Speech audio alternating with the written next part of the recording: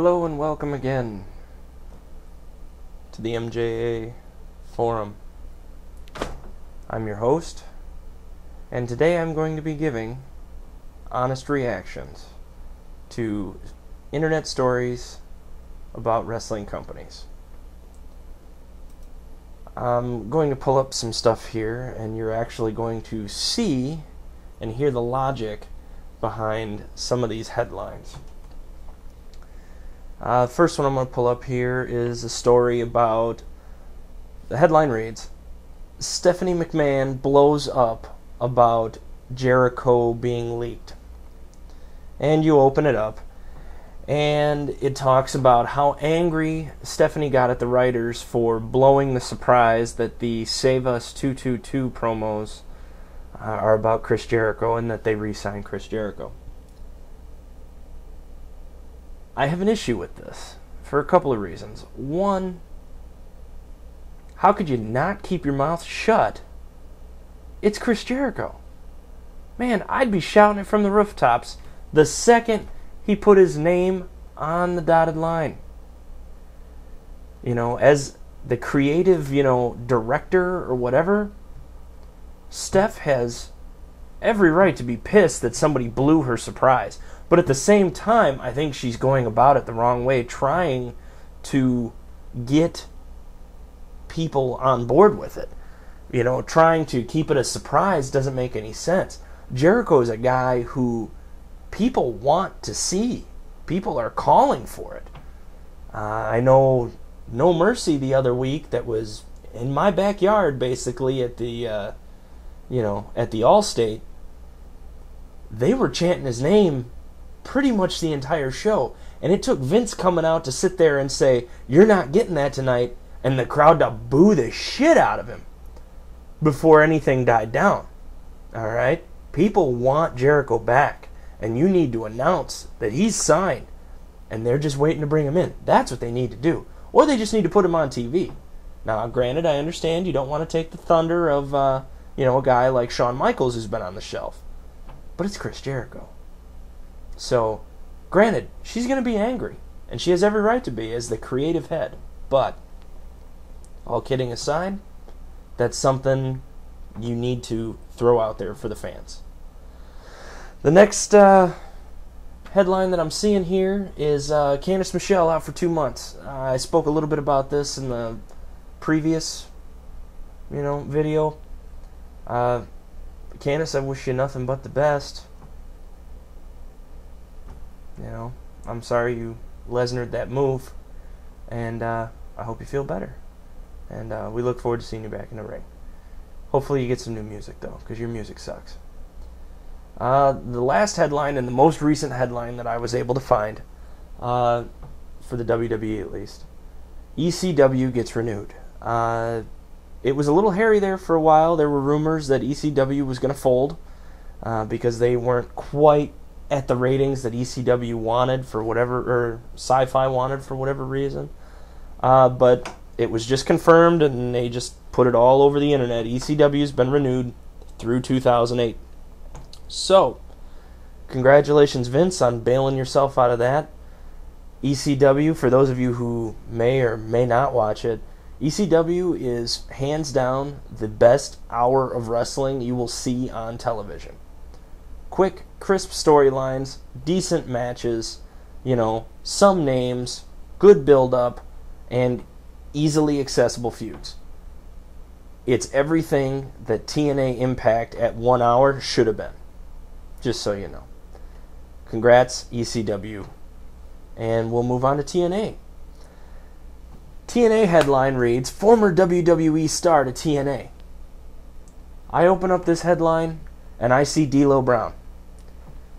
D'Lo Brown has worked for TNA in the past.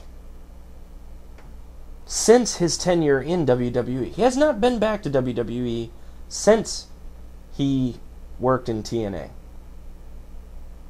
I would no longer consider him a WWE star. He's just old hat. Moving on. The next headline I see is major tag teams reuniting in TNA. And then there's a huge question mark. and you open it up, and it talks about Brian Christopher and Scott Taylor. The reunion of Too Cool, as fun as it would be, where would it go in TNA? Are they really going to have the caliber of matches that the Motor City Machine Guns have? That uh, you know people like the Dudleys have? I mean, are you going to put Too Cool with the Steiners? I mean, you're basically setting them up to fail from the get go. As fun of a tag team as they are. I mean, granted, you already have Rikishi there. That would also be interesting to see the reunion of the three of them together. But that's about all it would do. There's no storyline function, there's no plot, there's no future in it. And it would get stale real quick.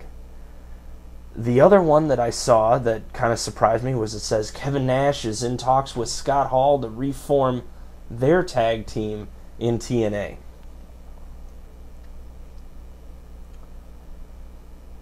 If Scott Hall and Kevin Nash reform the Outsiders in TNA, the only people that they should logically feud with is the Voodoo Kin Mafia that'd be the only good feud I'd see out of it because then you get, you know, the Wolf Pack or the NWO, whatever you want to call it, on this side, and then you get the New Age Outlaws or the VKM or whatever you want to call it on this side, and then we finally get to see that you know Geritol on a pole match because they're all ancient.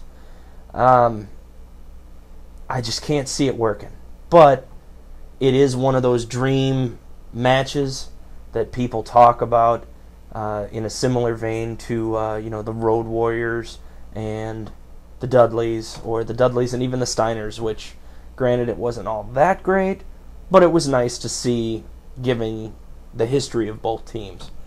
Um, overall, uh, my impression of the internet is it seems like people are scratching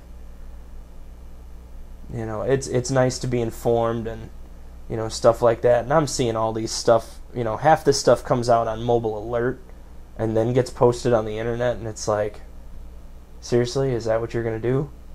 You know, you, you're gonna take stuff that the company sends you and then just immediately post it on, you know, Pro Wrestling Insider or uh, you know Wrestle Complex or whatever. I I don't understand. Uh, it's one thing to put a spin on it, you know, to talk about it like a YouTuber person, or uh, you know, write a column about it, an editorial, something like that. But to just blatantly, oh well, WWE said this, so I'm gonna post it here. I don't get. Maybe it's just me, and may, maybe I'm wrong. Maybe I'm an asshole. I don't know, but uh, it's kind of weird, and it's freaking me out. So, you know find find something you know unique, something that WWE doesn't post on their website, or TNA doesn't post on their website or send out on their mobile alert to post on your websites. I don't get that. That doesn't make sense. And then all the copying and changing that gets done between the websites because I'll see something show up on no DQ and then the next thing I know it's on prowrestlingheadlines.com. You know, I I don't get it. And they cite the source, and it just doesn't doesn't make sense. Find something unique, post it, and then move on. No sense in dwelling on it. This is the MJA. Peace.